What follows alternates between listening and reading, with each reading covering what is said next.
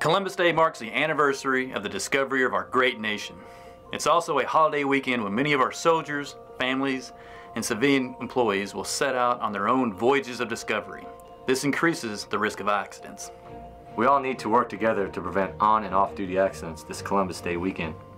As we near the end of the year, hours of daylight get shorter and trips should be planned to minimize travel in darkness. If you or a loved one are driving or riding on two or four wheels, get plenty of rest prior to your travel and plan adequate rest stops during your trips. Drive defensively. Refrain from texting or talking on cell phones while driving. Make sure your vehicle is in top running condition and avoid driving under the influence. Bottom line, make sure you come back from your holiday weekend fit and ready to continue the mission.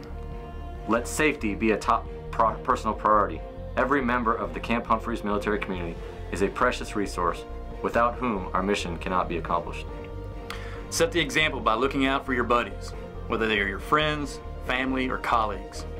Army safe is Army strong.